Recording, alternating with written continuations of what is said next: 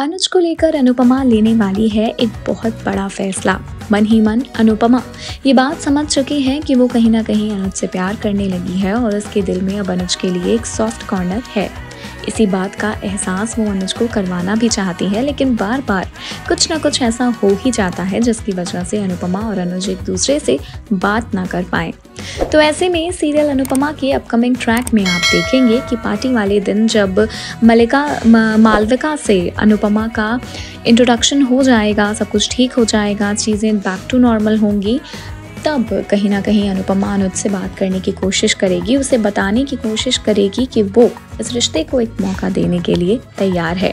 लेकिन ऐसा हो नहीं पाएगा, क्योंकि बीच में आ जाएगी मालविका। जी हाँ इससे पहले कि अनुज और अनुपमा एक दूसरे से बात कर पाए, मालविका बीच में आकर अनुज को अपने साथ ले जाएगी और यहाँ पर रह जाएगी अनुपमा की बात फिर से अधूरी। तो देखना इंटरेस्टिंग होगा कि क्या वक्त रहते अनुपमा अपने दिल की बात अनुज को बोल पाएगी। वहीं दूसरी ओर एक बहुत बड़ा फैसला लेने वाली है अनु। ये फैसला है अनुज के साथ अपनी नई ज़िंदगी की शुरुआत करने का। इसमें डर भी है अनुपमा को कि कहीं वो पहले वाली अनुपमा ना बन जाए, लेकिन जब उसने अपने बापूजी से बात की तो कहीं ना कहीं अनुपमा के सारे डाउट्स क्लियर हो गए। साथ ही वनराज का खेल अब शुरू हो रहा है। उसने मालविका के साथ मिलकर एक नया वेंचर शुरू किया है, जो एक अच्छी खुशखबरी है, लेकिन वनराज के मन में अनुज और अनुपमा को लेकर जो कड़वाहट है, उसकी वजह से अब वो अनुज और अनुपमा के बिज़नेस को बर्बाद करना चाहता है।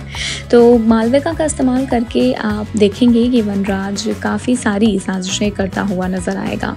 तो इन सभी ट्विस्ट एंड टर्न्स के साथ कैसी होती है सीरियल अनुपमा की कहानी? देखना इंटरेस्टिंग होगा।